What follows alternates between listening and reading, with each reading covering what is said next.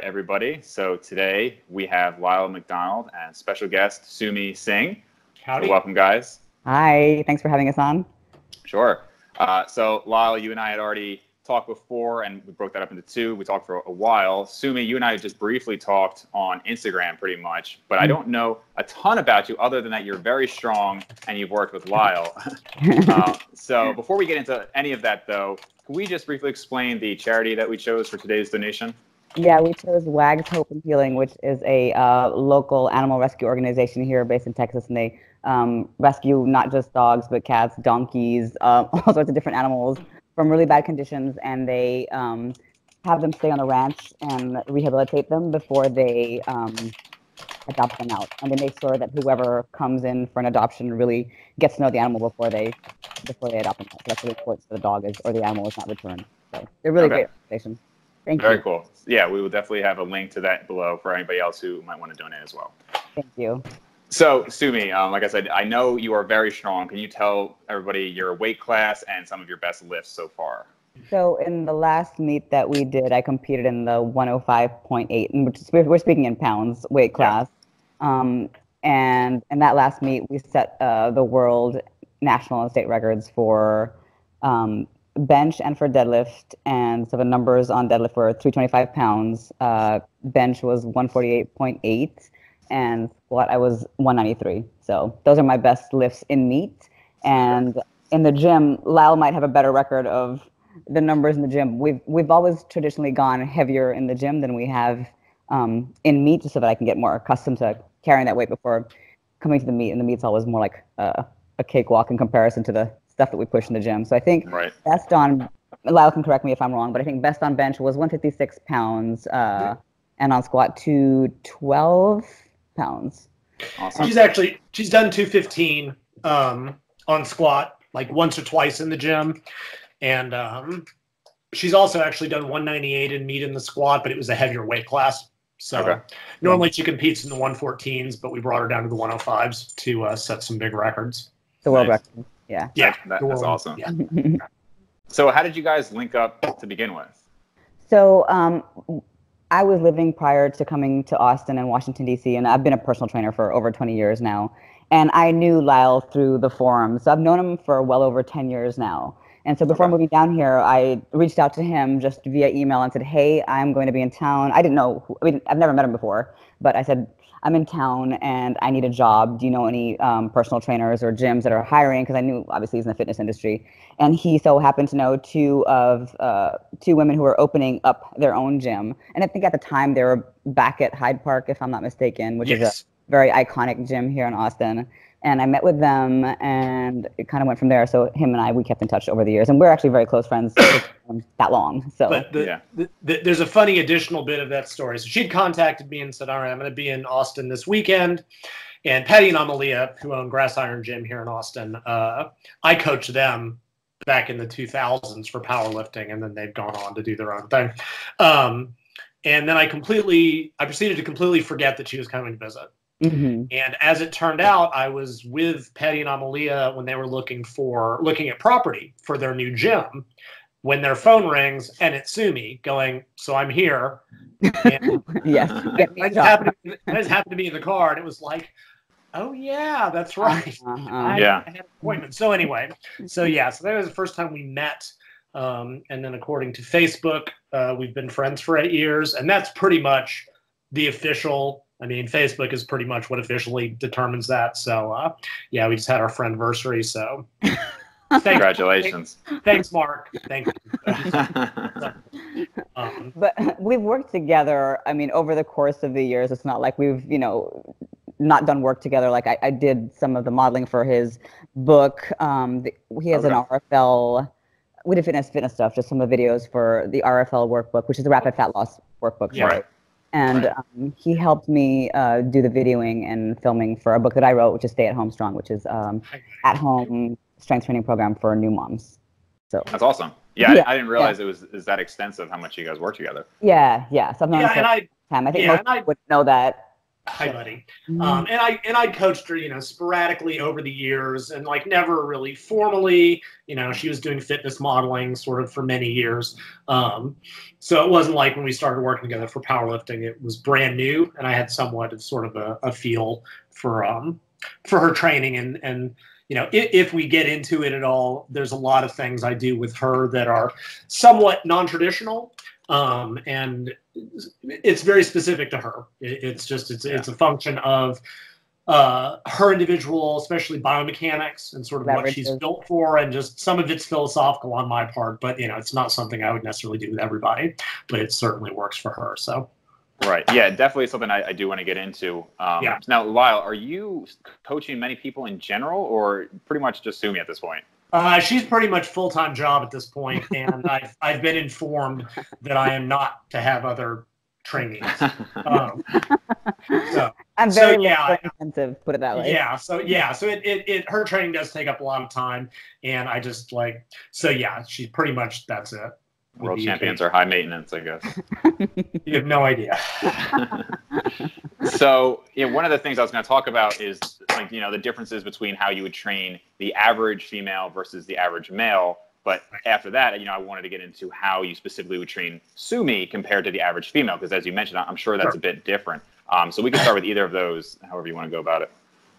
So Sumi, I mean, you're Sumi, you're the one who's training probably more. I mean, general fitness folks. I don't know if you have any, if you do anything different with your female versus male clients necessarily. Um, in my case, just because I, I have a private home gym set up, the, the majority of the people who are coming to me are female. Um, just because just because of the nature of somebody coming to my home. Um, sure. Typically, the male clients that I train here, they're the husbands of the clients, the female clients that I train, because I've been vetted. Right. you know, so that kind of thing, and um, and they're typically older. We're not talking about the twenty somethings bros trying to get jacked. You know. Right. So, insofar as goals, obviously they're going to have different goals. At the end of the day, everybody wants to look good naked, right? Mm. Um, man or female. Come here. Come here. And I think for the most part, it's general health, which is great. Like, you know, nobody has crazy goals. They just want to be healthier and stronger, or so they say. Um, the average male is not going to come in to me and, you know, grab various parts of their body and be like, what do I do about this or what do I do about that? They just don't do that. Sure. That's very typical of a female. It's just, in general, right. somebody who comes in and, you know, my average client will be a, a mom or a stay-at-home mom and, you know, they want to get in shape and sometimes they want to lose a couple pounds, that kind of thing. So, um, you know, it's basic barbell strength training, which is awesome because I get to get people stronger. So, yeah. Um, I don't know. There was somebody had posted a while ago on Facebook about you know the personal training look like personal trainer looking the part of a personal trainer. Yeah. But even though I train part time in a commercial gym, which is Anytime Fitness, the average twenty year old bro just is not going to come up to me. I yeah, sure. fit, it, it just doesn't matter. Like that is not my that is not my clientele. Even if even if yeah. I know enough, it's just it's, it's unfortunately the nature of what it is. So yeah, yeah. Twenty year old males. I mean, they basically if you're not bigger than they are, you don't get in it. And even if you are, they still won't listen. Like tra- training males, um, like training males is just an impossibility because uh, males tend to think that being male, they know everything about cars and sports, and sports is inclusive of weight training. Mm-hmm. So generally speaking, they won't listen to a word you say. Yep. Um, yep. I, I, got a buddy who does online coaching, and uh, for powerlifting, he says, "Yeah, I won't even work with 20 to 25 year old males a they're broke but b they won't listen. Like they're just not going they all think they know what they're doing. And what i always found in sort of a general concept and, and there's i mean there's some biology there's some sociology there's some psychology women tend to be a little bit more process oriented like they do tend to follow instructions better in the gym sometimes to a harmful degree. Like they will do what the workout card says um, whereas men just train by ego right yep. uh, a man's approach to selecting weight is whatever the last dude was doing plus 10 pounds yeah. like that's that's generally how guys approach and like getting guys to not not lift with their ego uh, tends to be uh, I, have seen exceptions but by and large they just just don't do that um, you know so far as training men versus women there are differences you know for the general public I don't know that it matters that much. You know, women tend to be a little stronger in the lower body. They always want to focus on, you know, hips and thighs and back of the arm. And the bros want, you know, dudes want guns and pecs and abs. And, you know, I'll be honest, when I was doing a lot more general training, I pandered to that a little bit because you got to keep them happy. And I'm like, you know, will doing extra ab work for dudes help? No. Will it hurt? No. Will it keep them happy? Sure. Yeah, you know, yeah. a woman wants to do extra glute work, fine. You know, like it's just it, so so so in you know in that sense, when you start getting into performance training, I think that's where you start to see some of the differences. And you know, and if you look at sort of a lot of the the successful coaches right now, like Matt Gary, whose name will probably come up again, he's the head coach of. Uh, apparently, the United States has a powerlifting team, and this was news to me when I found out about this. Um, but he, he's top notch, and it's funny. We listen to I listen to his stuff, or Sumi listens to his stuff, and like either he's ripping me off or I'm ripping him off. I don't know who, or we just or we just all kind of came to the same thing, and you know, and he said, okay, you know, uh, a, a man might train the squats twice a week. A woman can usually go three times a week. Man might deadlift one to two times. You know, basically, he's like, take the men's frequency for a lift. For women, add one. And, Yeah. and there's a number of reasons for that. One of the big ones being that women will never be lifting as heavy of weights as men. And, and that's really a profound difference. The, the amount of bodily pounding that a guy squatting four, five, six hundred pounds is taking is simply it's not the same as a woman who may be only squatting 200 and don't don't mishear me i'm not saying like to, that a woman should feel like it's just a difference in body size and physiology but the systemic demands the physical demands just the physical pounding is very different so men, men women tend to have better volume tolerance recover a little bit faster um, so they typically not only benefit from, but might even need a little bit higher frequency, maybe even a little bit more volume, more sets, simply because they're not generating the same amount of cumulative fatigue as a guy. Um, for, for just a number of reasons. And, and actually, it, probably the most systematized approach I've seen is the Chinese Olympic lifting team. Their female athletes do more heavy sets. They train heavy three weeks versus the men going only two, just for all these reasons. Um, and and so they kind of and so I, I adjusted sort of in, in that regards. Um, I, I've also known women that you know a lot of the popular male powerlifting systems where you just train and lift hard once a week or West Side or do like lots of lower intensity volume. It just doesn't work for women. Um, and I think there's a biology to it. Men are good at intensity. It's neurological. It's very testosterone related, nervous system effects. They tend to not be good at volume because they can get, you know, I can give a dude a heavy set of 10 in the squat and he's going to have to lay down for a few minutes. I can give a woman a heavy set of 10 in the squat and 30 seconds later she's ready to go again. Right. So men tend to be good at intensity, but not so good at volume. So they can do 80% of max and, and improve with that. Women are good at volume, but have to kind of learn to generate good intensity. And there's a researcher, Megan, I forget her last name. She's a PhD. Thank you. Um, and she talked about that. She talked about how when she was doing the typical male programs, it wasn't working. And until she started consistently doing 90% and above work, like not tons of it, that's when she really, and she had to train a little bit more frequently. She couldn't taper the same because, again, a guy who's doing 600 needs three weeks to recover before a meet because he's just beaten up. Woman squatting 215 or 200 and we found this with Sumi. If I take her off of heavy work for more than three or four days, she literally forgets how to do it. Hmm. and what and and this isn't meant like, and I don't know if it's psychological, not feeling the heavy weight, Yeah. neurological, biological, and I kind of don't care. We've just learned the hard way that if she doesn't maintain heavy work, she just can't do it. So I have to keep Especially in someone the squat. up- especially more so in the squat, less so in the deadlift, which is just a grunty rage lift. Um, bench press is kind of somewhere in the middle, but you know, for women, 135 pound bench press is a huge milestone, and for most guys, it's a warm up set. And again, this isn't meant to denigrate women's lifting. This is just biological. Mhm. So a woman's benching 135 is just not taking the same amount out of herself as the guy doing 315 for reps. So so anyway, so that's kind of general principles. Women may need a little bit proportionally more high intensity work, can get handle a little bit more volume, can probably handle and need a little bit more frequency than men. Um, taper a little bit differently, sort of. Those would be just the general principles in sort of a powerlifting sense. Sure. Yeah, and and I would agree with you. You know, for the general population, I don't think because of course everything we're saying here is a generalization. Um, Sure, and sure, sure. Maybe at, at the very advanced level, these things matter more. But for most Correct. people, I think you know you can train them similarly. Um, I wouldn't say that when I've, I've helped females versus males, I, I recommend that much that's different. Yeah. But Sumi, what you said about you know the 20 year old just isn't coming to you like the 20 year old male and I think it's interesting, but it's, it's, I mean, it's very true in my experience as well. There's just something about it. I don't know if it's because you just men just, you know, obviously women are generally weaker. I don't know if it's that or just the stigma behind it, but I think very few men who are in their 20s would go to a female trainer Right. at all. Even somebody like you who might be highly qualified, doing it for 20 years, literally has a world record.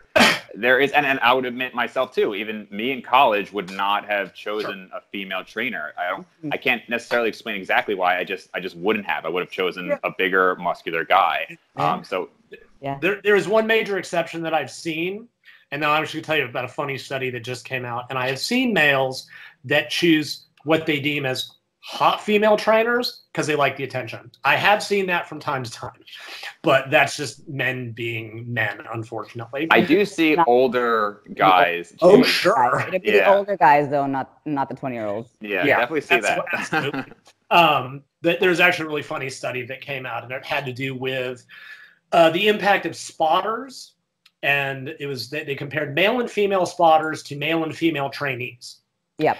And because like we know, like as guys, right? If you ever got a spotter, guys, it's like just knowing the dude's there, you tend to work a little bit harder. And they wanted to see how if there was a gender difference in anything. And what they found was that the men worked harder for both the male and the female spotters, right? Because men are show offs and we're Mhm. competitive.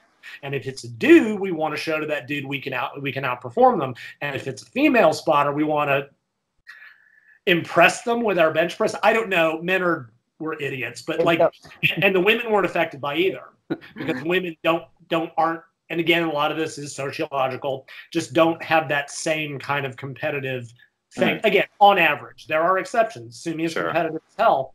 That there used to be some stuff you know what you found was that male athletes compete all the time even in the gym. And getting them to just do the workout in the gym and save it for the meet is very difficult. Women are very process, but often getting them to compete hard has been more challenging. And I read an article over a decade ago out of the uh, the IOC, and it said, you know, train like a woman, process oriented, compete like a man to murder your competitor, Mhm. and that can be a very tough balance to find. And um, it is changing, and it depends on the sport. Women who go into powerlifting traditionally have not been stereotypical women. And I'm, I'm trying to choose my language very carefully here. And again, not saying it in a bad way. Mhm. The women who want to push heavy 1RM loads and pull the most off the floor that they can pull tend to be wired a little bit differently than the typical gym training. And again, I think we actually talked about in our podcast, one is not righter than the other. It's simply a matter of what your drive is. Mhm. And so the women who get into that, there's a selection process for the women who get in. It is changing. Yeah. A lot more, we'll talk about this at the end, a lot more general population are seeing this is cool, this is fun. And I've always found interesting women at these at powerlifting meets, right? Women can compete hard against one another and still support each other in a different way than the men, right? Mm-hmm. Women can be head to head trying to outlift one another and still be super supportive. Men are just always growly and angry, and it's not quite that bad. But you know, also women make a big lift, and I've seen some dance on the bench and they smile and they jump into their coach's arms, and dudes scowl about five percent less. Like that's their so that there's a Yeah. psychological difference, and so it, it's changing. But like in power, you know, often getting women to just really compete hard at meets to try to dominate other athletes can be its own. But again, that's at the high end level. Sure. Um, general public, the differences for general fitness, there just aren't that many. Like Right. you have to factor in biomechanics, women, wider hips, knees break in, yada, yada, yada. Frequently, women don't have the short, you may not have the upper body strength to do heavy squats because it's just not, men, men tend to be more evenly distributed muscle mass. Women are more lower body heavy. So I think that's why like hip thrusts women love because they can hammer their glutes and not have to carry a heavy bar on the shoulders. You know, I know Sumi uses a lot of trap bar deadlifts, which is a great movement. Train the legs without the upper body. So there are differences, but they tend to be minor in the general public. It's just a matter of getting them to, you know, if anything, it's getting the men to not try to train with their ego, and frequently women have to learn to be pushed. It takes them a little while before they start pushing themselves harder. Mhm. But when they do, women fall in love with getting strong. Like it's Yeah. really it's really amazing to watch. That first time they do something that they physically couldn't do a month ago, it clicks. And then they're just like, I want to get as strong as possible. And I know Sumi Yeah. has seen that. Yeah, and it is interesting to see um, the women that I've helped. That I mean, they could have been lifting for ten years, but they were maybe just doing like you know the pump stuff or just whatever they think they Yeah. see in Instagram.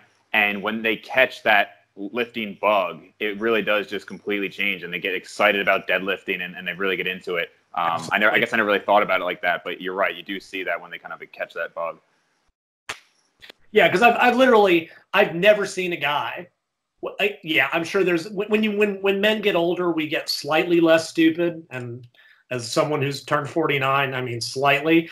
I've never seen a guy that didn't want to go as heavy as possible. In Yeah. the I've been in gyms as a trainee for 35 years and professionally in some degree for nearly 25. Women they tend to underestimate their strength, what they can truly do by 50%. And so it is changing. And I know we've got a question about that later, but some of it's just mental, some of it's I don't want to get big, some of it's sociological, because for decades, women that went heavy just got crap for it. Mhm. Either usually from men, and often, you know, their moms would tell them your ovaries are going to fall out, and you know what, like whatever it was. There's been a big socio-cultural pushback to female athletes at any level, and especially the ones that wanted to lift heavy weights. And it's really hard to want to push yourself when you're going to get dumped on for it. And I think that some women just don't like to fail. So, you know, training to failure is something that you have to learn. That's years and years of, you know, lifting. And I don't Yeah. know if that's a that's sociological or what or cultural. I know it's definitely cultural. For me and Yeah. where I come from, India, is nobody they they think that they're going to get hurt Yeah. if they Yeah. lift or if they lift heavy. So under the guidance of a good trainer, then I guess some of that goes away. But that is something that's you know years and years of just culture being ingrained that don't Sure. pick that up. You're gonna get heavy. I mean, for a really long time, my own parents could barely watch me lift. They're just like, ah, I don't know Right. How long have I been you know Sure. now they're now they totally welcome it with open arms but it took them a very long time i mean for the first decade of my career as a trainer th- they weren't particularly embracing it so yeah. Sure, but it's just it's cultural. It's what if you were Yep. raised, you know, if you weren't raised in that, Yep. you can only, you know, you can only know what you know. And I do think, and again, we'll talk about this. It is changing, and I think the next generation of women, the the, the girls that are being raised now, are being raised in a fundamentally di- fundamentally different cultural environment. But we'll get to that. For Yeah. sure. So, do you remember either of you uh, what your lifts were, Sumi, when you started with Lyle, like, and how much that has improved over the last eight years? i do i do remember um, so when i turned 40 which was a big turning point for me i thought i was done with the whole aesthetic side of lifting i just wanted to do pure strength stuff which is why i got into powerlifting and i hired um, an online coach um, who was amazing tim henriques he's the author of all about powerlifting Mhm.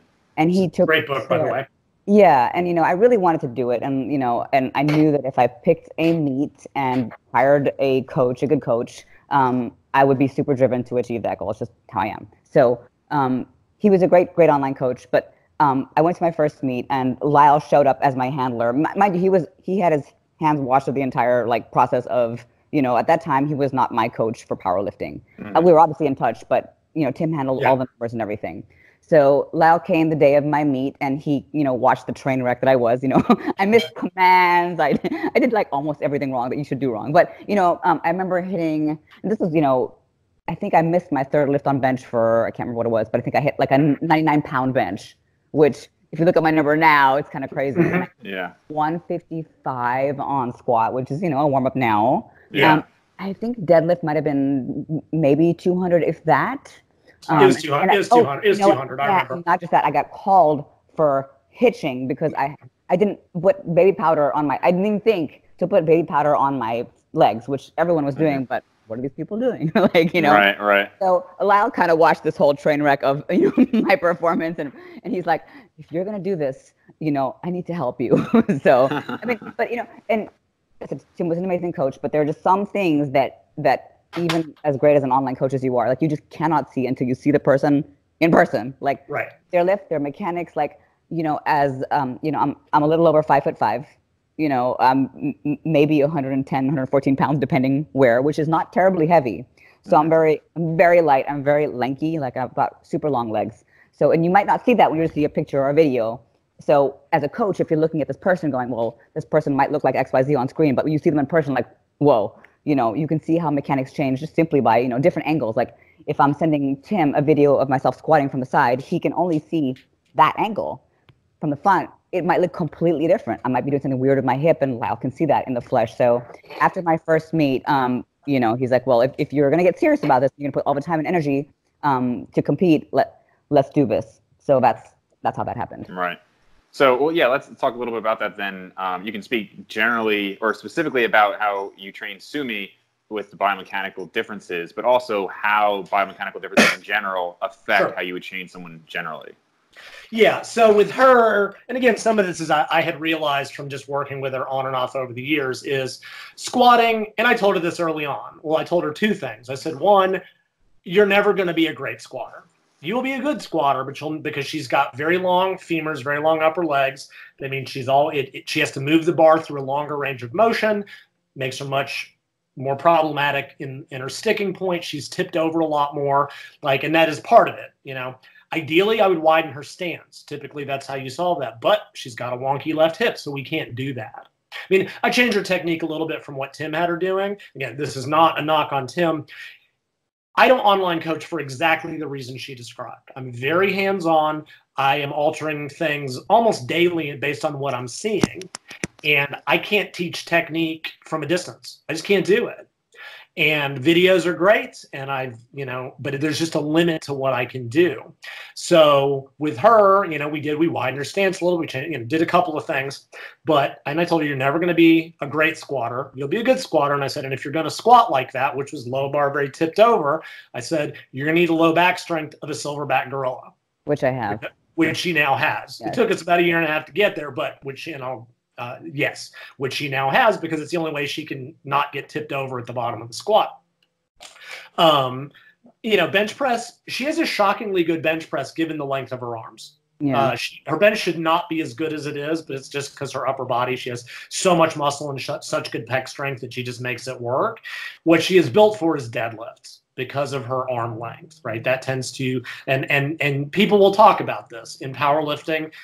You can sort of be built for two of the three lifts or even mm-hmm. one of the like if you've got long arms you have a great deadlift and not a great bench because you've got longer to move the bench typically people with big better squats have better deadlifts depending uh, have good deadlifts depending on how they deadlift and you know she's got a monster deadlift way out of proportion of her and i've seen that before right so i'm i'm short i'm five seven but i have very short femurs i have very good squatting mechanics and I can stay super upright, or many used to before I got hurt, before I broke my leg.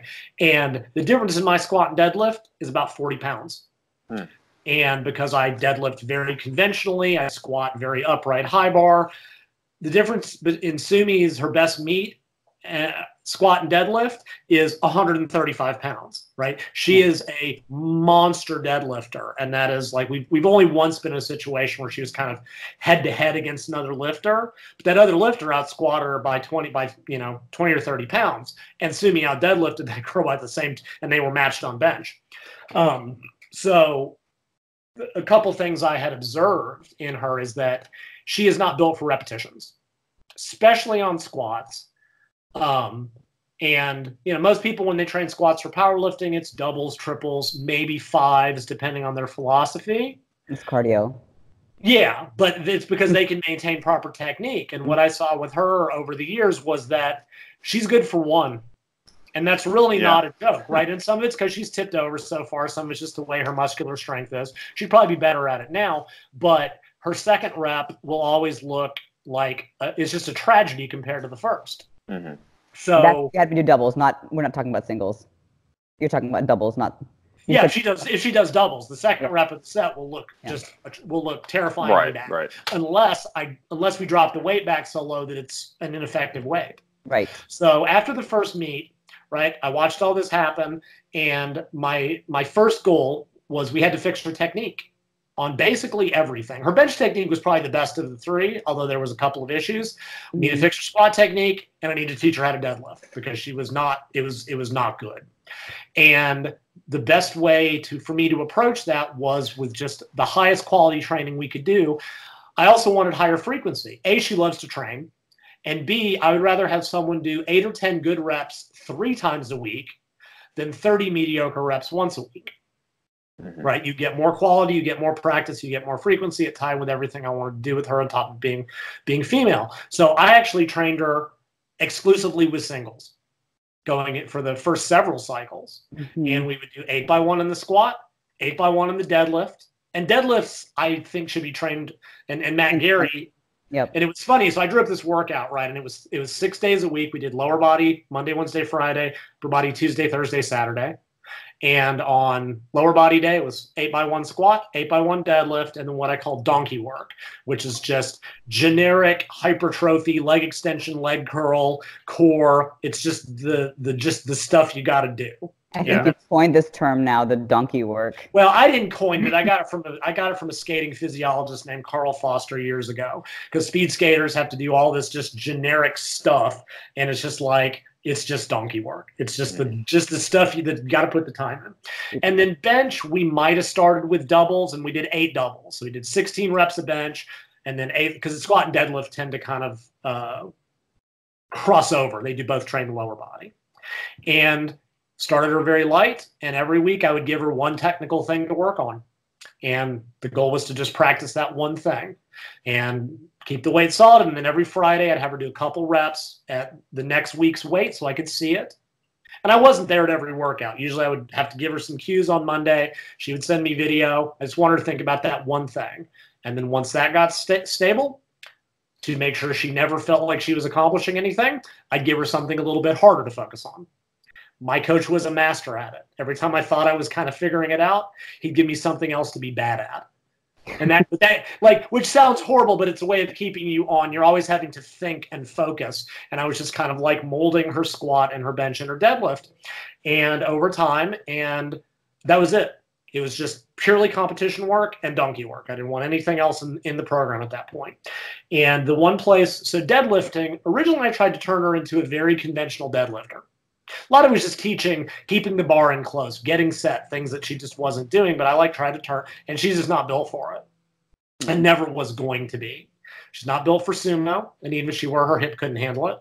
So over time, once we got the basics, she just tended to gravitate towards this very I won't say it's atypical. There are lifters that do it, but it's not common where she starts very round backed, very high hipped. It's almost a Romanian deadlift off. It's like almost a stiff legged deadlift off the floor. She gets very little drive out of her legs. It's all back, but she makes it work. Hmm. Right. And I, I just, one of those things, as much as I wanted to kind of turn her into a, a classical deadlifter, it wasn't for her. And I was going to be trying to put a square peg in a round hole. So we did that. We went to the next meet and it went better, you know, set some PRs. A lot of it. Oh, the other main thing I did, and this was, again, this is Tim couldn't do this through when you're training alone. Powerlifting, lifting at a powerlifting meet is different than lifting in the gym, right? You know, you, you get used to a certain environment. You're inside a power rack. You've got a spotter. There's no uh, distractions. All of a sudden, you're at this meet with heavy metal playing, with huge crowds. There's always a bald, a bald guy in the front, a fat bald guy sitting in front of you, like you're having to worry about commands. You don't mm-hmm. know where to look on her first meet, and I saw it happen. Everybody does this on their first bench press. She brought mm-hmm. the bar out. She started before the start That's, command. Yeah, yeah. She got super distraught, and I like there must have been a dozen lifters that came over and go, "Look, we all did it." Mm-hmm. Right? You can't mm-hmm. know what you and and unfortunately, since I wasn't working with her, we she hadn't a chance to practice it to even learn yeah. the commands. Yeah, yeah. So when I set up her first training cycle, we did you know that six to eight weeks of kind of base training and then I moved her into a, that once a week we did a meet mimic, which meant warm ups, six singles, heavy singles, squat, bench, deadlift with full commands. Right? I believe in specificity, but more than that, I believe in you train like you compete, and then you compete like you train. Right? I want the meet to be an afterthought. So we would practice for six weeks with full competition commands. Mm-hmm. You know, her learning to lift heavier weights on a clock, everything. And that way, when you go to meet, you're not having to think about all this stuff, right? That was also the genesis of me taking her heavier in the meet in, in the gym, right? Once you've done it in the gym, the meet is an afterthought. And yeah. she's talked about this. The meet will be her easiest workout in a six week span. Because I worked way harder in the gym. Uh, yeah, I'm more afraid of his Saturday workouts than I am of meet day, just because. Yeah, because the meet day is an afterthought, right? The meet, the meet day ends up being basically two warm ups and a heavy rep that's always lower than what she's done in the gym. And, Yeah. and once she's done it in the gym, and, you know, and realize she might be cutting body weight. There are a lot of things because I've had people go, "Oh, you're leaving. You know, you're not reaching her best potential." I'll Mhm. always take three made lifts over two makes and a miss, Sure. Right? And, And, as long as her point of success is basically all Right, and it, that way she comes out finishing on success. As Mhm. long as her gym lifts are improving, you know, our goal is just each beat. Let's try to get the next five pounds, Yes. the next five pounds. tiny bit.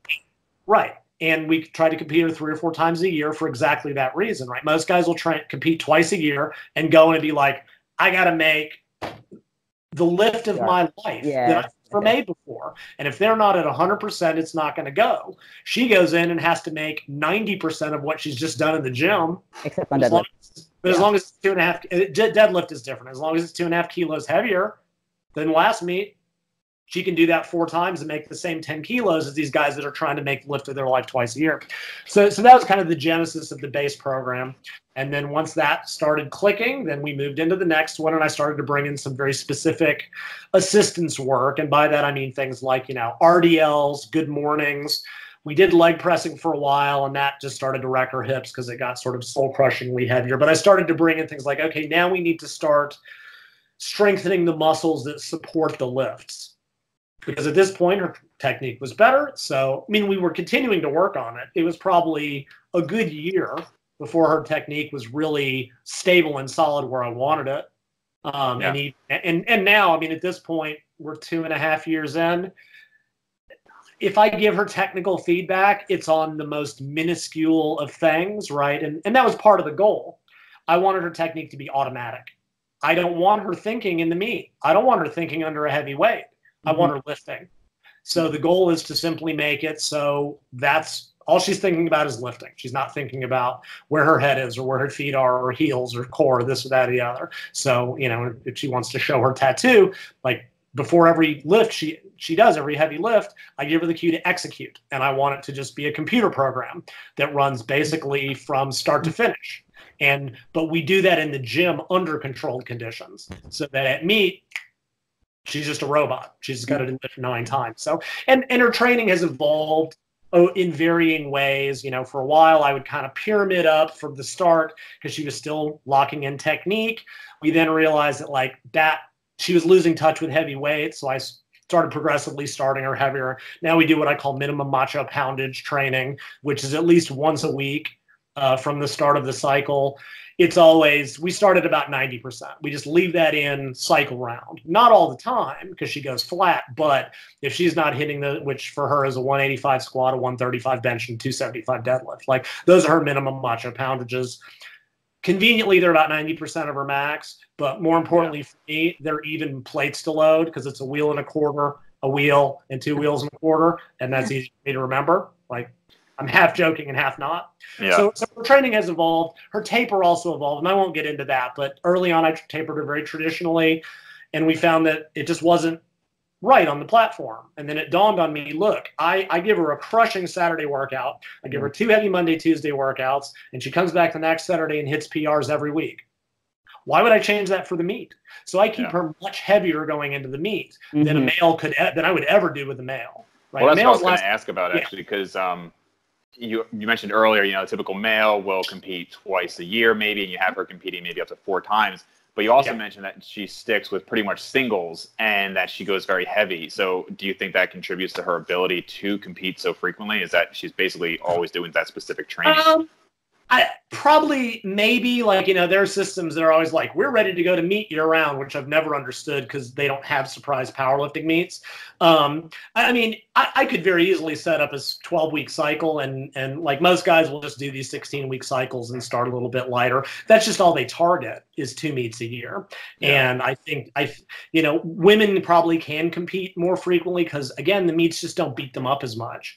A guy that's just gone and done an, a seven hundred pound squat he's going to need a couple weeks after the meet to recover. Mhm. She needs she's less tired after the meet than I am, quite honestly. I'm exhausted after meet day, and she's like, she's back. We're back in the gym Monday, starting all over again, and we start her. You know, I might give her one workout at only 85%, but it's it's less a function of keeping her ready all year round. That's just because that's the training she responds to. As I like to compete her more frequently if possible, just because that way we've got a target um, the training cycle doesn't get so long that it she goes a little bit stale. Like for the last meet, we had about 16 weeks, which is longer than traditional I would typically use, typically 12 to 13. And I just adjusted the cycle a little bit. And same thing now. Um, and I want to add something to that too. I mean, I've you know been powerless since my since I turned 40, so I'm 43 now. So it's you know almost been three years.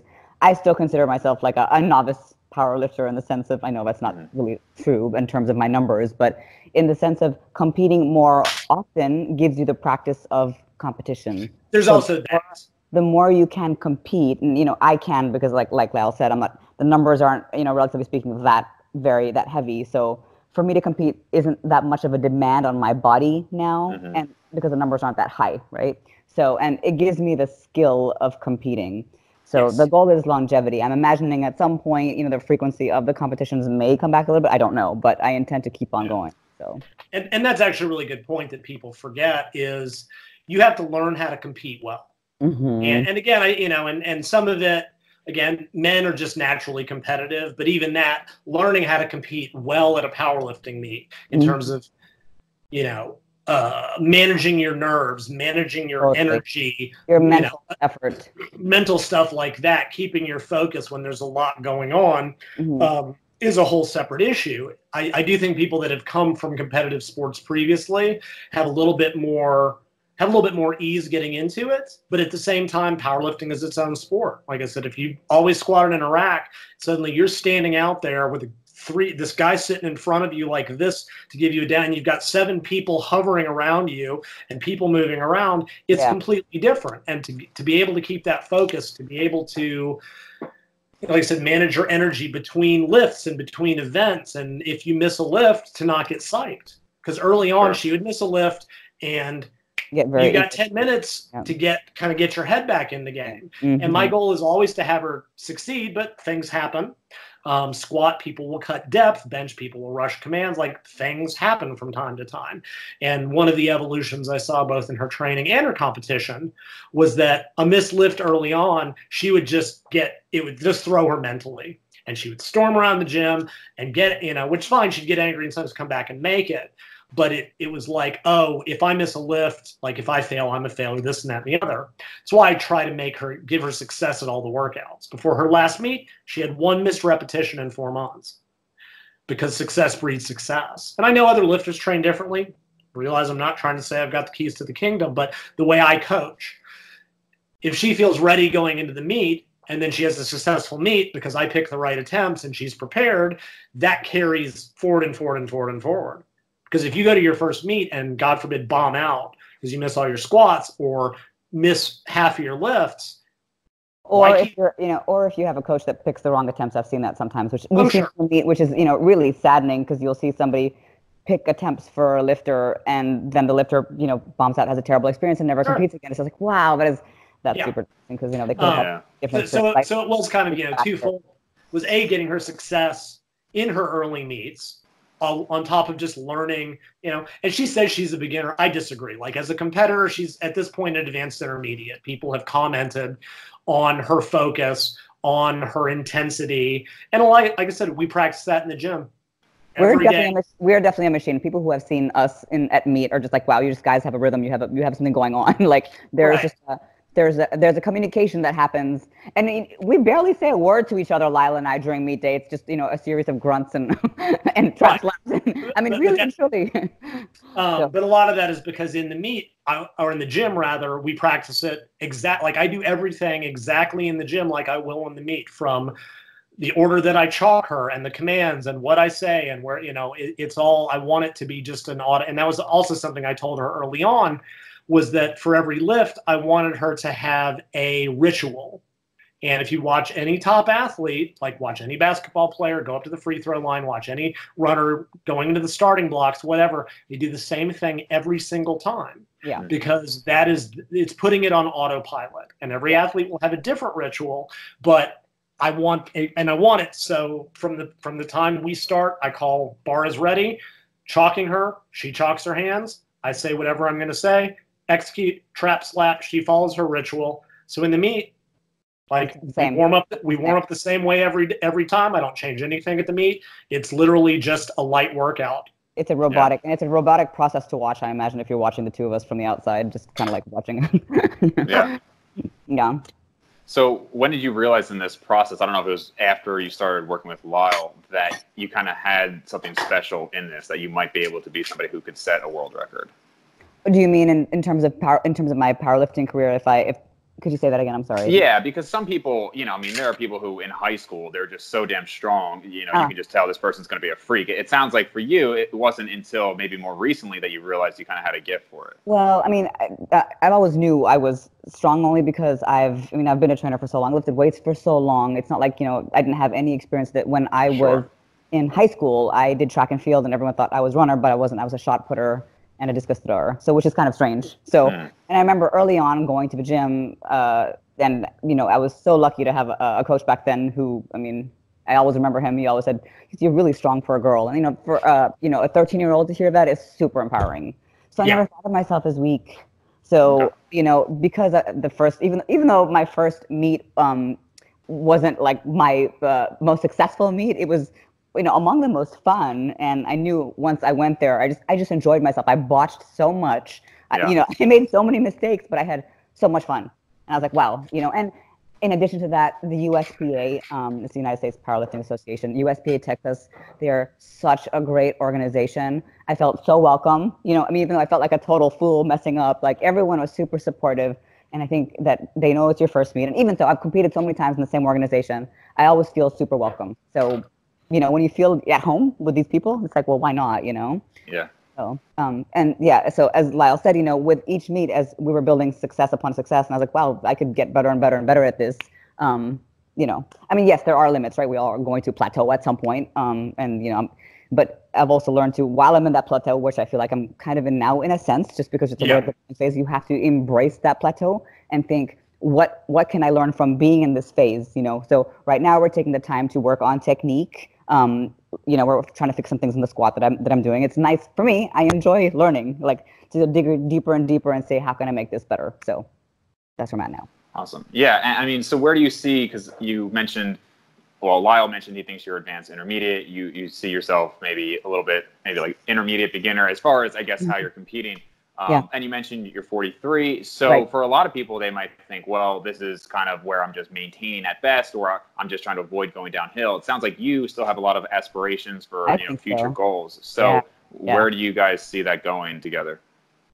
Um, well, the next, our next meet. Um, so the past two meets I did, I competed in a lighter weight class, which actually I thought was going to be a lot harder to compete in that class, just because I thought of it as a ton of weight to lose, but I didn't really have to do anything but a water cut, which was pretty awesome. Nice. Um, so I want to go back to my former weight class, which was a 114, and um, improve there because now I've taken a year off of that weight class. So Yeah. I want to get back to a heavier weight class and improve my numbers from the last meet, which I did in that class. because because she actually ended up hitting bigger numbers in the lower weight class. For deadlift, Like, her, yeah. her, like yeah, well, and bench. No, you've hit bigger. You've hit a bigger bench in the lower weight Yeah. class too. yeah. Um, squat not because we're fixing this little technical blip. But having hit that, like I, I, I don't think she has a lot more room to improve and stay in the lighter weight class. Hmm. I- Is kind of the thing. So the goal now is to bring her back up to the 114s, like for real. She's about 110 now. Like, yeah, we could take her back down. That's five pounds for her is nothing to lose with a water cut. But I think at this point, we need to have, get a little bit more muscle on her, especially in her lower body and quads.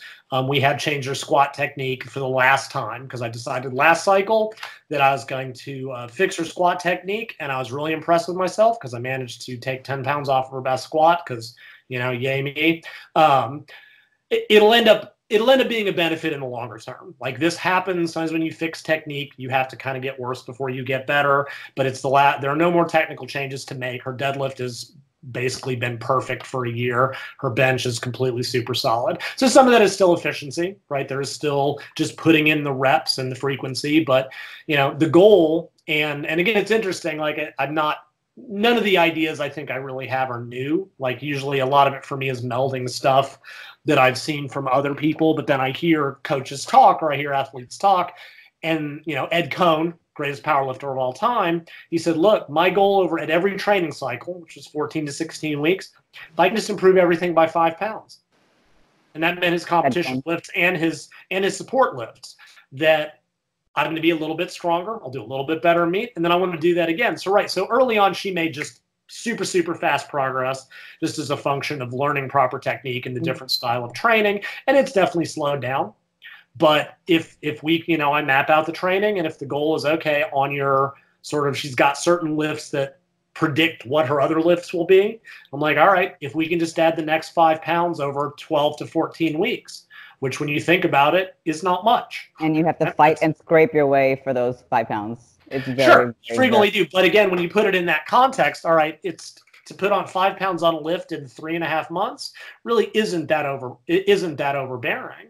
So I set it up, and if we hit her numbers, and I look at her last couple of workouts, and I basically know what she's good for going into the meet, especially now that I've, I've had more experience with, with like I said, she's a little bit non-traditional taper. I compete her a little bit differently than most people do, but it works. Um, I definitely do some stuff at meet that I've never seen anybody else do. Um, that's probably my my most novel my most novel contribution. But um, and Dave, I don't know if you caught Lyle. He was knocking himself by saying he took ten pounds off my squat, but really, yeah. like he he has a challenge for himself. Like, I, I, mean, you've not seen me in person, but like for the people who have, it's like I am literally like very twiggish down below. Yeah. it doesn't. It doesn't matter. It doesn't really change the fact that I like, got a broader max out. Unless well, you could actually add some, you know, wrap on some quads, maybe. Yeah. You know, so, sometimes you're better off just leaving well enough alone. And I thought I could fix this. And like I said, I'm, you know, if I'm if I'm really impressive, I could take another 10 pounds and bring her back to 195. But let's. I want it to go back the other so, but that was just one of those last little technical Maybe if I weigh 195, we can do that. you tell her to go up to the 185 pound class, but she won't listen to me. So, but yeah, so so like there, there's no way for me to predict, you know, where she'll end up. We are we're now we're clawing for you know the next two and a half kilos, and it will slow down. Um, she's now in the rather enviable position that, and this is just a meet thing. When you're breaking a new, when you're setting a new state or national record, you only have to break it by half a kilo rather than two and so only by about a pound rather than five pounds. Because what women women's powerlifting i think there needs to be at least one rule change. A five pound jump on a woman who's benching 115 pounds yeah. is staggering totally. right? It take for a guy benching 315 it's you know slap it is nothing. But for a woman it's a staggering weight jump. And i would really like to see the women's events at least on bench allow 1.25 like two and a half pound jumps. Because for, women, for women make a break. the lift goes from go to no go in a couple of pounds and that five pound jump is really really staggering.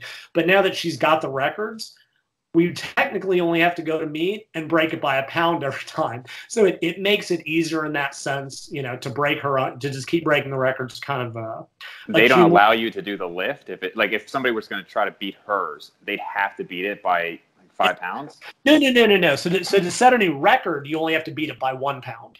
Okay. But like, so she's competing herself, right, and there's not a record, if she goes 130 pounds for bench, that's 132, and then 137, she couldn't go 139. She's got to go to 142. And for women, that's just a hmm. staggering mm. jump, especially even, for the even women. a pound is a lot, depending on. Correct. And yeah. when we're in the when we're in the gym, we t- I will free. I've, we've got little micro plates. I will add half a pound to each side mm. frequently because oh, she's good for one pound. Oh, yeah. And to have to to have to jump in yeah. a meet by five I, pounds when you're just making your first, second, third attempts for women can be really like deadlift, whatever. She's deadlifting 325, five pounds is not a big deal. That's yeah. whatever. Who says? whatever, one percent. But on bench, that's like that can be you know upwards of seven and a half percent of a woman's bench, sure. regardless. But now we are in the enviable position that since she'll be breaking her own bench and deadlift records, she can just go up by half kilo at the meet, which will make it easier to progress. Nice. Um, but that's kind of a neither here or there. But where she'll end up ultimately, don't know. If we can put three or four more pounds of muscle on her lower body, I think she's got a lot more room in her squat and deadlift, and her bench will keep coming up. Yeah. Now, with these lighter weights that women are traditionally using, do you find lower rates of injuries in female powerlifters? I think so, absolutely. I would think so. just because it's just not as I mean, it, you know, you could argue ah, women do have you know less robust joints and by and large, which is true, but it's weird. You know, people go, but 100% is 100%, right? Yes and no. Mm-hmm. It is and it isn't, right? Like if 200 is your max and 600 is your max, those are both 100%. But the 600 is putting a physical load on your body, even if you're a bigger human being, that just breaks you more. And I do think, uh, and I was actually talking to uh, there's another lifter in the SPA that like we see the same people at every meet. And I was talking to her husband, and was, she's actually he was actually talking about CrossFit. He goes, "Yeah, the women maintain in CrossFit and the men don't. The men get hurt. The men some of it is an ego macho thing, but sure. the men women are you know they're more they're more flexible. They're more elastic. They the lighter weights, I do think they tend to get relatively less injuries with good lifting mechanics. Um, you know, uh, some of that, you know, one advantage Sumi has she's coming into this with 20 years of general prep right? She she right. trained 20 some odd years. She already had some of the muscle mass her joints her bone density all of that is very very very robust. It's also and this is you know kind of goes to the making smaller incremental gains more frequently right? I could try to put 20 pounds on her lifts every 12 weeks and she'd probably break. Mm-hmm. or i can try to put five pounds on her lifts and do that four times a year and her and that's something Matt has talked about. Like, yeah, if you want to make the fastest gains in this amount of time, you can work right at the breaking point. And you may break or you may succeed, or you can look at the long and, and that's longevity. That's what I want long term because right. injury, time lost to injury is time you're not training. So whatever you gained here by trying to push the envelope, you lose in the long term. So I would rather make those small incremental gains. Yeah, and I wonder if you kind of epitomize that more than even like some other coaches in the sense that you really only work with Sumi, right? And and so sure. just from talking to you, you you clearly have this investment in the process. You guys have a good relationship sure. together. Yeah. If somebody, you know, kind of reminds me of like the the weightlifting teams where a coach is just going to destroy hundred people and get well, sure. like two winners out of that. Mm-hmm. And, and I wonder even in like powerlifting, you know, if you just have a method, well, I'm just going to like crush all of my trainees we'll get a few world records sure. out of it. You know. Yeah, and, and a lot of coaches coach they send out these cookie cutter workouts. Like I don't think the good coaches do. Like. I mean, Matt Gary actually only handles the national team at meets. He doesn't coach, but a handful of them himself. But yeah, I've known physique especially. You send out hundred meal plans, hundred workouts. You only yeah. need a couple to make it to stage to claim that you're the best coach ever. Right. And you know, the Europeans were very traditional for ah, we can lose 65 and we just need one to win. Some of it is also I'm old and I've been injured and I'm you get way more conservative as you get older mm-hmm. right? I mean I, I i break that much more you know i've been hurt. She's been hurt although all of her injuries have been non-lifting related somehow. Um, it's always a little bit weird. Like shoulder, she had two shoulder injuries that were unrelated to the gym. And um, uh, so some of it is just being conservative and so, you know like i said you're better getting getting hurt. I did a deadlift workout years ago, and for not stopping one repetition early, I lost nine months of training. So what did that get me? Right. Right. And so I've learned enough hard lessons, and and yeah, with only one lifter, you you can't break them because that's that's your lifter. So I'm much more invested in it for many reasons. Sure.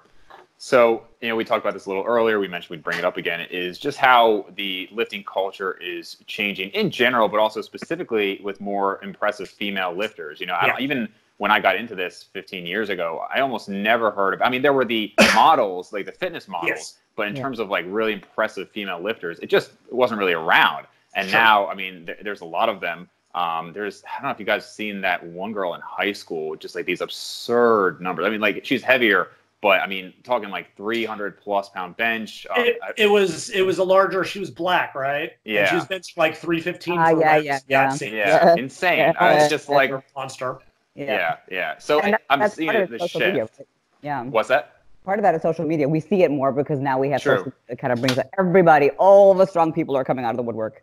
So right, right. But people are embracing it. You know, I mean, I think. Sure most of the women I know who are taking lifting seriously, they they're cool with lifting heavy and they like yes, it. Yes, yes, yes, yes. Yeah. And well, and now we have organizations like USPA that put on you know all female meets, and that's getting more common with organizations putting on meets specifically for females because you know women want to compete with other you know females. But, but I think so. that's also a consequence of the changes because they couldn't have done that ten years ago because they oh, would yeah. have had four people. Yeah, yeah, yeah. Right, yeah. and and there has been this this really this step change because like i said i've been doing this. I've been in gyms since i was 15 i've been sent working in them for to some one degree or another since i was 25 so like and that was in 95 i've watched the changes occur from maybe seeing the occasional handful of women in the weight room usually kind of faffing, you know, faffing about with light weights to some women really pushing themselves. And I do think social media, for all the bad that it does, and it does, right? There's a lot of garbage on social media. There's a lot of garbage on the internet, is the nature of the universe. But there's a lot of good too. And right, so we had this cultural idea, and it was mainly bodybuilding magazines. Oh, they would see these steroid using bodybuilding women that were 180 pounds of ripped muscle and go, I don't want to look like that. Yeah.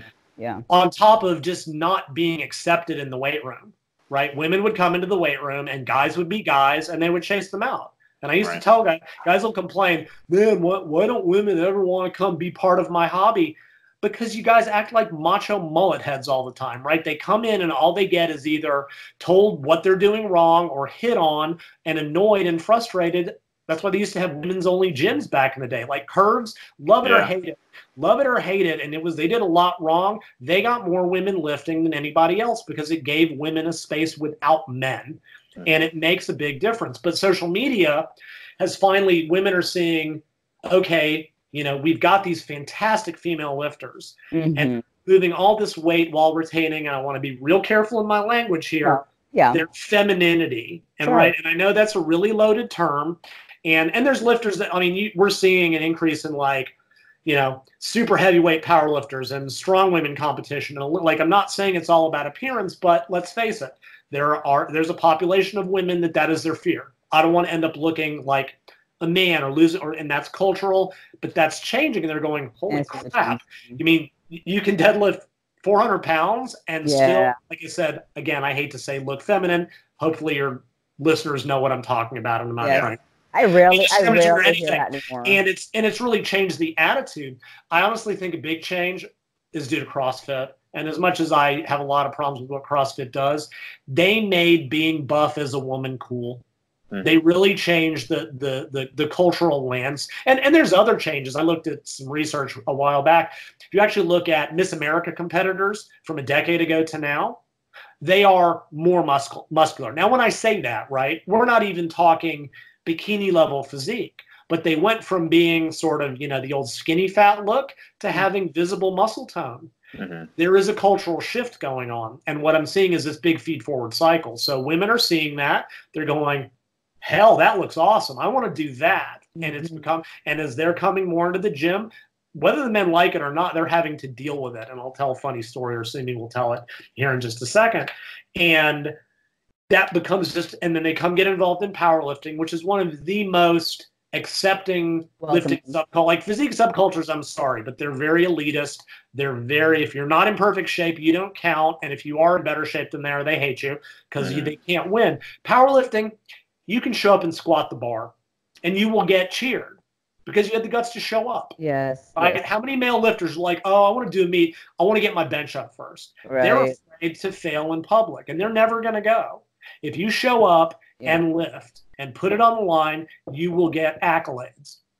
Yeah, it is, it is a very supportive community. Um, Dave, I, I mean, I hear, I'll hear from you know women all over the world who you know message me on Facebook and be like, "You are super inspirational. Thank you for what." It, it's so it's it's amazing to hear that. It's it's yeah. fuel for my. Um, and, and, again, and so and so as more women are entering the sport, it's becoming more accepting. Like Sumi said, there are now all women's meets, which have a very different vibe. When you take men out of the equation in any sport, it changes it. And the women, they're fierce competitors while being supportive of one yes. another. Yes, and yes, that's a tough mix. Like men will acknowledge other big lifts, but at the end of the day, they just lost. Mm-hmm. Women will acknowledge, and it's just it's a different vibe. One of the things I'm really seeing that I that is an, is a real explosion in masters women's lifting. Yeah, awesome. and this is a really fascinating one to me because these are women who are in their 40s or 50s and even older who they grew up of the generation being told you can't do this. This is unfeminine. This yeah. will make this that and the other happen and they're realizing it was BS. And Are they lifting the heaviest weights? No, but it doesn't matter. They're coming out and they're being competitive and they're being encouraged. And, And then other women are seeing that and they're feeling better and healthier and Mhm. bone density and blah, blah, blah, blah, blah. And other women see that and go, huh, I can do I that. can, I yes, can do it can do too. that. Yes. And then that those women are raising their daughters Mhm. completely differently than their mothers may rather than being told you need to eat a salad for lunch because that's how you stay skinny they're Yeah. being told you Eat need to go protein. s- you need eat more protein and go squat Yeah. Right, right. and so because i think because i think at this point female powerlifting and olympic lifting i don't know about strong women competition it's about 45% women's involvement right now and that is up from when you would see at most a handful yeah, that's awesome. that uh, Texas has a, a really unique uh, high school girls powerlifting is really huge here because there's a lot of kind of nowhere boony towns where that's what you do. It's like bunch of folks, so like they grow up on farms or doing labor, and the girls have to deal with Austin with Texas boys. And so there's actually a huge, but Austin, Texas is different. Texas women are terrifying in a good way, and um, but it is. It's it's really exploded in the last few years, and it's only going to keep increasing because it has to. Once the the once the the top is off the box, there's no way to go back, and it's Yeah. awesome. It's awesome to watch. Um, the only other thing I want to add, just because this is funny, uh, regarding women in the gym, right? Because forgetting for a while, women were just really if they came and goofed off, they just got or didn't work hard. It was one thing, but men get way more worked up by women outlifting them. Oh yes. Nothing. I've trained a lot of strong women over the years. Nothing gives me more joy. Nothing than This watching so true. scary boys away when Sumi's over there doing reps with 275 in the deadlift. I've chased guys away from the bench press Yeah. by having a female trainee doing paused 135 benches in per. They would just go do something else, yeah. and it's Not hilarious. exaggeration. It is not Using better technique and better form, it's hilarious to me. So loves it, and we absolutely do clear the gym floor. I couldn't tell you if it's because I'm outlifting them or if my face is so scary from the lifting. A little bit both. Probably a bit of both. so I had, I had one more question, but do you have to go, Sumi? Well, no, no, I have a few more minutes. No, She I just just- gets re- she gets re- she gets restless. I- if I if I have to sit for more than this is like pretty epic that I've been. Sit, I want I want an award or something for sitting still this long. See, I was just prepared because I I've seen Lyle's podcast Yes. and our last one went two hours, so I was ready just in case. Uh, yeah, we all we all are very well aware of it. All right, let's try to wrap it up then, for her sake. All right. Um, so last one is just you know, um, last time Lyle, you and I talked about how we're kind of in this echo chamber, right? And and as much as I think of fitness as the you know evidence-based community, that's really not how most people see the fitness world, right? And what we see on Instagram. And so, in one sense, it's awesome what's changing, you know, with females and powerlifting and all of that. But I would still say the predominant, you know, picture that we see for women's fitness is still just the Instagram boobs, but you know, all of that modeling. And so, I mean, Sumi, as somebody who, who works so hard with Yep. what you do, how do you feel about that, and, and that that's kind of the representation for females in fitness? Uh, I mean, you're absolutely right. But the unfortunate reality is that you know sex sells, and it doesn't matter if I put out a super super meaningful post on you know mental preparation or habit change. You know, a, a female putting out a picture of you know of herself in booty shorts and whatever a bra is going to get so much more likes than anything I could put together if it's you know has some sort of substance to it. That's just reality, and so. I think if you if you have a problem with that, then you know you, you get to you get to choose what you're being fed in terms of social media, right? Your your feed is what you select. So my you know my Instagram feed is full of you know strong powerlifters and stuff like that. It's not full of you know hypersexualized females. But obviously that resonates with somebody. You know, sex does sell, and that's part of the reality. And and you know, Lyle is super super knowledgeable. We have so many people in our field who, as you mentioned, are evidence based.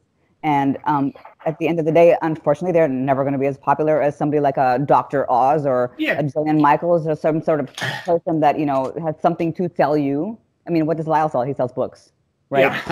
and and- nobody and- wants to read books. Yeah. I mean, yeah, who reads anymore, right? So it's so there's that. So there's, there, there are people who are preying on some sort of emotional vulnerability, and they want to sell you something, right? And what are we doing here? So you're right. It is to some extent it is an echo chamber. So yeah, at, at the same time, this you know this might sound like a weird you know because I because like I talk about this in podcasts and like women many women do tend to get really sort of addicted to strength, but at the same time, not all women are built for it. Right? For a while in like the 2000s, when when there was a group of women that were kind of getting into heavy lifting and this and that and the other, and they were like part of that riot girl move, sorry, riot girl movement, and it was like ah, all women should be doing heavy fives in the squat, and not all women are built for it. Not all women are psychologically attuned to it. And again, this is not a criticism; it simply is what it is even with all the nonsensical physique Instagram garbage, and there's a lot of it. With the movements I see and just go, why? Why did why? You know, mm-hmm. where all you need to do is basically be hot and in shape, and you can have a million followers. It's like if that's what a woman wants to do, I don't have any fundamental, you know, like I said, there are many ways to the path. I'm seeing women in general training harder and doing hitting the weights. And if that's what they enjoy and is keeping them coming back to the gym and meets their goals.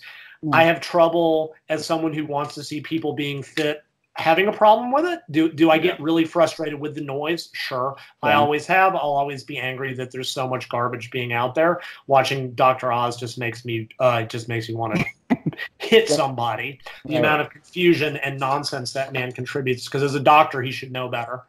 And but at the same time, you know, anything that gets more people training and thinking about exercising health. consistently. Yep. You know, that's why one of these days I'm going to write an article that will anger everybody called "The Defense of Planet Fitness" because I'm tired of people. it's this, it's that, and the other. I'm like, you know what? They've got more people exercising than any amount of macho prattling because mm-hmm. they made it a play. Like, well, you can't even squat, and I've been doing this 25 years. You know how many good squats I've seen in the gym?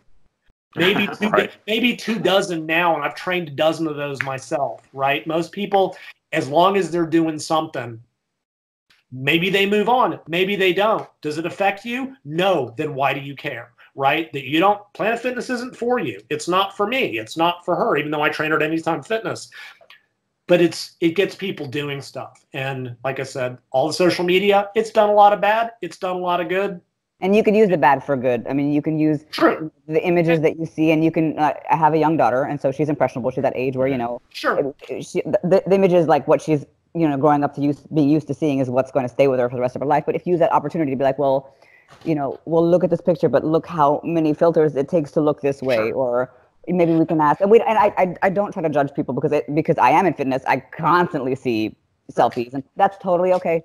Maybe that makes that girl happy maybe that's what she needs. Maybe she needs the affirmation, and it's totally okay. You know, that's what she wants to do. She's well in her right to do that. Um, I, I, also think one thing we we have forgotten, and then I'll be quiet so we can wrap this up. Is we are still very much, I think, in the early days of women's involvement in the strength sports. Mm-hmm. Right? Actually, I wrote it. I did some. I did a little historical research for what will eventually be the women's book, volume two. Right? It's only at like the 2008 Olympics, women are finally at like four. They went from about zero percent involvement in, in the early 20th century. They're almost to parity with men. But the strength sports have really been the last bastion, right? The first women's Olympics in Olympic lifting was the year 2000. Men have been yeah, competing crazy. since 1900, right? That's Their crazy. first world championship was 87. Again, men 19, 19 1896. The first women's bodybuilding competition was in like 1977. Men were competing from actually the early 1920s. Strongman is a very new sport, so it's not quite the same. Powerlifting, again, 60s, early 70s is about when it formed. But like at that time, there was literally one female powerlifter, and that was Jan Todd, who was an absolute – mm-hmm. legend in the sport. She is still writing. She, her, and her husband Terry, who passed away recently, they had been doing. They keep a history of lifting at the University of, of Texas Austin. She was probably the first female powerlifter, and nobody wanted her there. But her husband I mean, she forced her way into a sport that was not accepting of women. She really, truly broke that that barrier, and it's been a slow grind. And now it's only been about ten years. So I think it's just going to accelerate and it may split, right? We're going to see a lot more. I mean, physique is blowing up. They've got 18,000 different physique divisions now. It's like bodybuilding, classic physique, classic this, bikini, bikini that, figure, fitness, health. I, fit like it's getting absurd because there's so many people that want to do it but more women are and I, I think we'll see both an acceleration and we may see more of a division and that's fine too but I think wait another decade and let's see where women's powerlifting like it, there may be a, there may be a shift there may not be but we are still in such the early days of women really entering this sport and they're increasing every meet. There's new women, there's new faces. The the divisions in the different weight classes in our in masters are starting to increase in number gradually, and I think it will only continue. And it's awesome. Mhm. Awesome, guys. So, Lyle, people can find you on body recomposition and Yes. the Facebook group. Sumi, if anybody wants to see your stuff, do you have? I mean, I know you have Instagram. Anything else? Right. Um, so my website is shailafitness.com. It's named after my daughter, which is S H A I L A, and then the word fitness.com. And I'm on Facebook as Sumi Singh, though I'm sure there's probably several others, but I'm, Yeah, one, sure. I'm the one who's probably flexing or doing something strange. Usually it's double. awesome. All right. Thanks again, guys. All right. Thanks. Dave. Appreciate it. Bye, y'all.